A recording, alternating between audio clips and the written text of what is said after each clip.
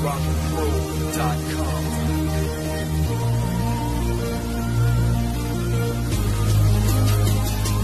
They said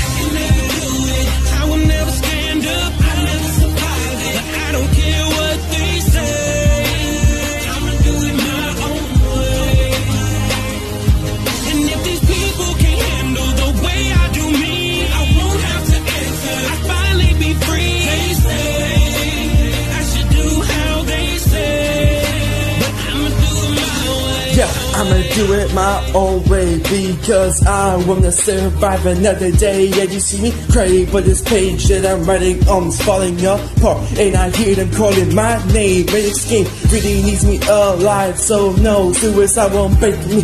If I'm so needed, I will fight for my life. And all the time I was told that I will make it, and this year you will see me evolving and finally getting my message out there. So I'm here for another year, and if 2019 goes my way, I just might hit a peak and help others use their voice to speak up for themselves. And I teach you that life doesn't hurt you, but only your right can hurt you. And you can be your own enemy unless you be for yourself. Then life will be a good. Drop that motherfucking knife. Yeah.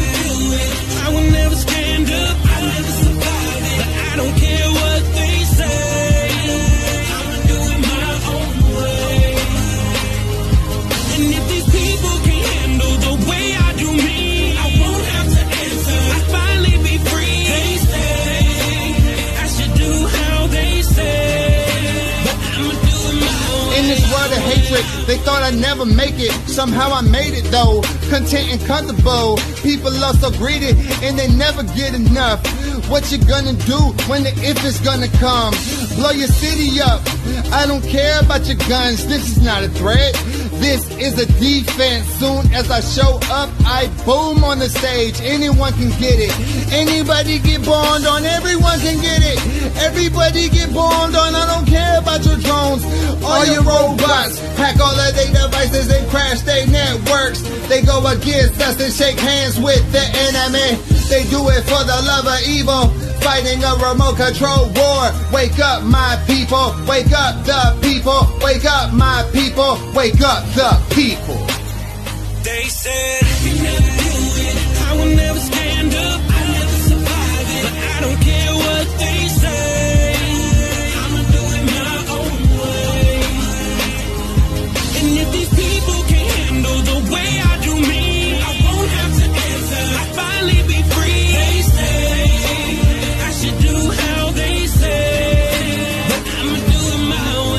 I'ma do it my way when I've always been through it. So fuck what the haters say. With every chance I hop in a beat, that's when I begin to reckon I must read it. See, in the past I was known to be a bit of an addict to drugs and rapping in the public crowds. All the security being a metaphor for people who really think you can stop my shining, hold me down, be my guest and want to double cross me. Well, that's not allowed. So let me tell you a bit of a story when I turned my whole life upside down. And it goes like this. See. I was a preteen and before I had turned 13 I was a kid with serious mental issues but kept writing my thoughts and jotting them down on pen and paper. Most nights I'd even skip my dinner. I was a wannabe looking at the race that wouldn't even eat skinny motherfucker. But I didn't care because to talk to someone I would have to spit bars for them To get my point across. And people saying that I'm never gonna make it so I grab the mic and I'll take it Because I belong here no matter what I hear From the people who are jealous. It's 12 don't care what